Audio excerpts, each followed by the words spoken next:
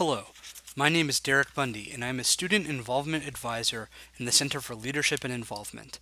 Today, I'm here to take you through Module 1 of Online RSO Training, which covers RSO Basics. To get started, let's discuss your benefits and responsibilities of being an RSO.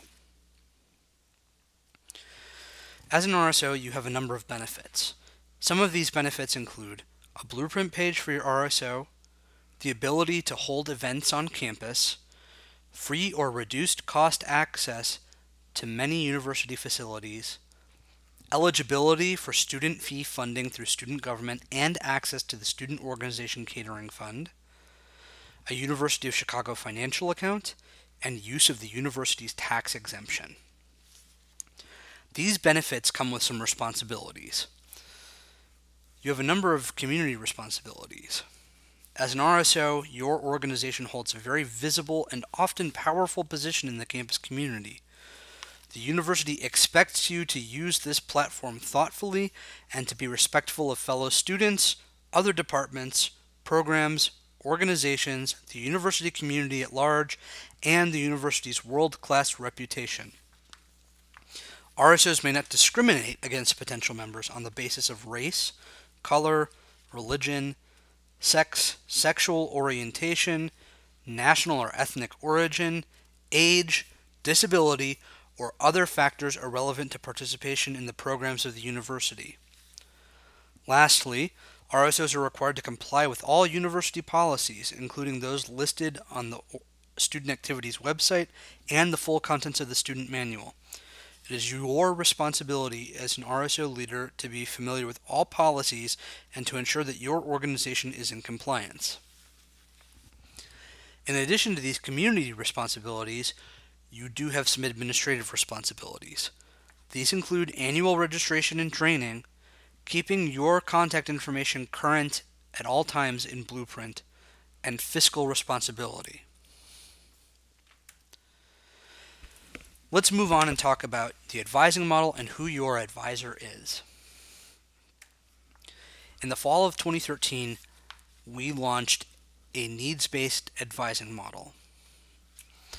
Your RSO falls into one of the five categories shown here and is associated with the color that is shown above. The designations of color are not a hierarchy, nor are they intended to serve as a ladder for how your RSO is supposed to climb. Your categorization, rather, is able to help advisors understand how to best support you and what kind of training to provide for you. Your designation is not used to confer status, nor does it define access to resources. You may be wondering, how do I determine what my RSO category is? You may find this information in Blueprint. Log into Blueprint at blueprint.uchicago.edu. From there, search for and enter your RSO's portal. Once you've entered the portal, on the left side toolbar, click Profile. You'll see under the Additional Information heading that your advising model categorization is listed. You may be wondering, who, what are the different advisor types associated with the advising model? There are a number of different advisors, including RSO advisors. These are professional staff from the Center for Leadership and Involvement, UCSC, or athletics. They advise green, blue, and purple RSOs. Additionally, we have peer advisors. Peer advisors are experienced student leaders trained by the Center for Leadership and Involvement, and they advise orange RSOs. Many of your RSOs have a faculty or staff member outside of campus and student life that serves as an advisor for your group. Faculty and staff advisors are wonderful, wonderful for helping determine content for your organization and connecting you in to other things that may have to do with the specialization area of your RSO. Lastly, some of you may have off campus advisors from a national headquarters or organization. This is perfectly fine. Make sure that you keep them in the loop and that they're aware of university policies and how to relate to your RSO or peer advisor when necessary.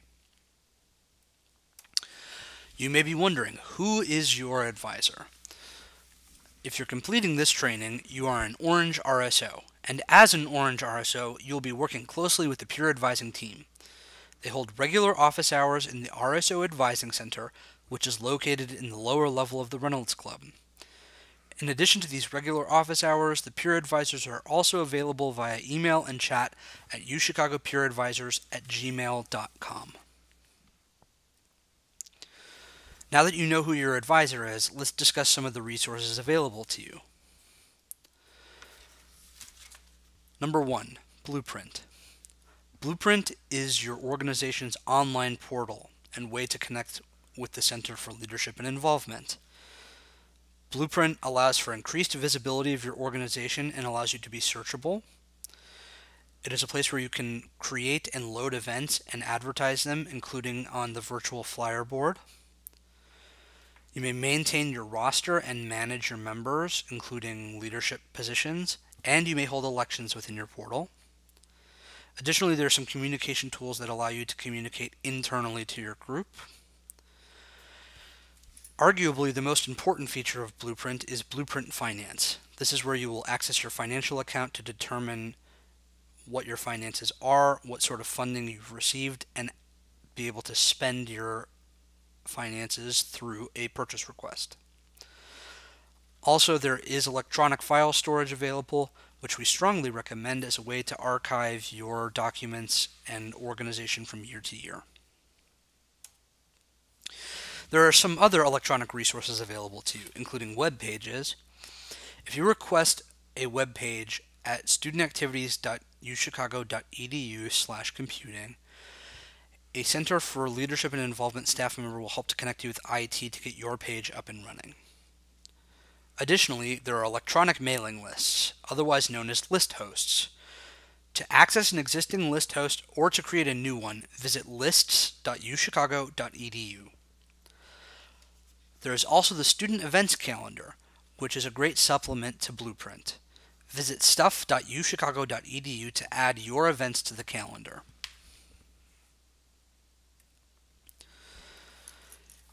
As an RSO leader, you also can apply for 24 hour access to the Reynolds Club and the lower level where the Student Activity Center is located.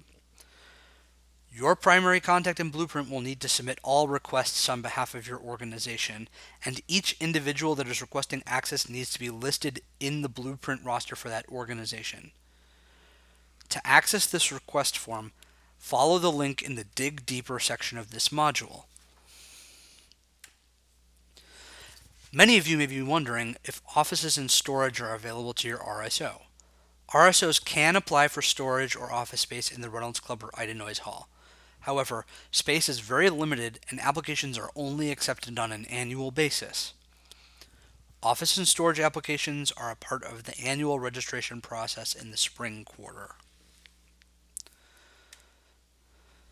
Speaking of the Student Activity Center and space, let's talk about what's available to you in the Student Activity Center. We are located on the lower level of the Reynolds Club in room RC001, and we are managed by full-time staff and staffed by a group of students. Remember, you can request 24-hour access to this space by visiting the link available in the Dig Deeper section of this module. We are open and staffed Monday through, th through Friday, 9 a.m. to 5 p.m. We are home to a number of key resources for your RSO, including mailboxes and package receiving, advertising and banner making supplies, audio-visual equipment including a digital camera and walkie-talkies, paper goods such as plates, cups, napkins, and plasticware,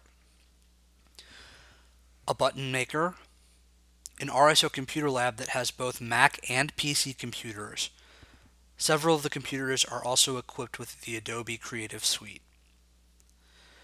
We also have photocopiers and printers for your RSO's copying needs, and a fax machine. Should you have questions or need any help accessing these resources, please come visit us, and a student staff member will be happy to assist you. The last resource is the RSO newsletter. The newsletter is distributed monthly with occasional special issues in between. The newsletter is distributed automatically to RSO primary contacts, presidents, and treasurers, and any member of your RSO can opt to receive the newsletter by signing up for the RSO newsletter list host at lists.uchicago.edu. The newsletter is home to updates and deadlines that are going to be important for your RSO, so please read it when you receive it. The last section of this module is going to be about maintaining your RSO status. We had mentioned some administrative responsibilities earlier in the module. One of them is completing required training. Training is required to maintain your RSO status and is based on your category in the RSO advising model. Orange RSOs are required to have leaders complete an online training in lieu of attendance at an in person training session. The president and treasurer of each green, blue, and purple RSO will be required to attend an in person training session during the second week of fall quarter. A frequently asked question we received is What if I am the officer in more than one RSO? It's a good question. If you represent more than one RSO, you will need to attend the training that best suits the RSO in the most advanced version of the advising model. For example, if you represent both a purple and an orange group, you would need to attend an in person training. This in person training would cover your training requirement for both purple and orange, and you would not need to complete online training for your orange group. However, if you completed the online training, it would count for your orange group, but not for your purple group. If you have questions, ask your advisor. The final major requirement in maintaining your RSO status from year to year is annual registration. In the spring quarter of each year, your RSO is required to re register in Blueprint and share pertinent information about the upcoming year with the Center for Leadership and Involvement. The individual that completes the registration will become the new primary contact in Blueprint and has responsibility to update your roster and make changes to bylaws when necessary. This is also where you will apply for offices and storage, apply for usage of Mandel Hall, and more. Keep your eyes on the RSO newsletter to find out the dates for registration each year. You have now reached the end of training module 1.